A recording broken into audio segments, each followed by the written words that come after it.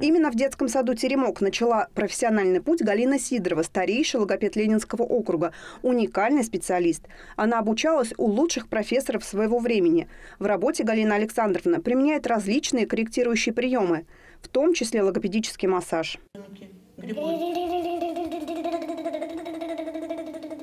Отработав в детских садах города почти полвека, на сегодняшний день Галина Сидорова ведет прием в детской поликлинике, консультируя детей дошкольного возраста.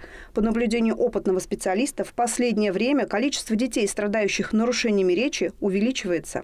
Причем нарушения речи касаются не только звукопроизношения, но и всех структур речи. Это и грамматический строй, и словарь, связанная речь. Если мы вовремя не поставим все звуки и не приведем в норму его речевое развитие, в дальнейшем это может сказаться на интеллектуальном развитии ребенка. Галина Александровна советует не затягивать с первым визитом к специалисту. Сделать это нужно не позже двух с половиной-трех лет. Конечно, если у ребенка нарушено произношение одного-двух звуков, то специалист даст рекомендации, как справиться с затруднениями самостоятельно. Если же дела обстоят серьезнее, то тут понадобится регулярные занятия с логопедом.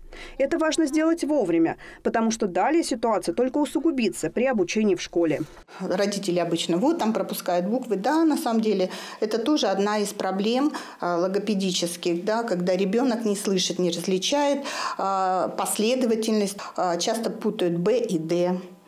А, написание «П» и «Т».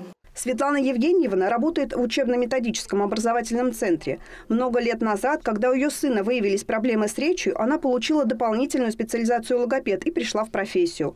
Относится к каждому воспитаннику как к собственному ребенку. К примеру, сейчас она и ее коллега помогают Ярославу и Эвальду ставить те звуки, которые им даются с трудом. Я пришел сюда, чтобы правильно говорить слова. У меня несколько звуков не получается выговорить. У обоих мальчишек проблемы с дошкольного возраста.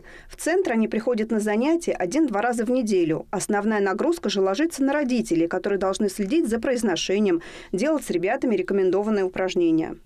В учебно-методическом центре также разработана программа и для педагогов школ по выявлению дефектологических и логопедических ошибок у младших школьников. Проводятся вебинары со специалистами по возникающим проблемам. Когда вместе учитель начальных классов и учитель-логопед, учитель-дефектолог с привлечением еще психологов, как школьных и наших, э, вот в разборе всех тех ситуаций, в которые педагоги сталкиваются, дети и родители. Наблюдая за работой логопедов, общаясь с ними, можно заметить одну общую черту. Все они люди общительные и открытые, искренне любящие детей. А значит, и выбор профессии они сделали верный.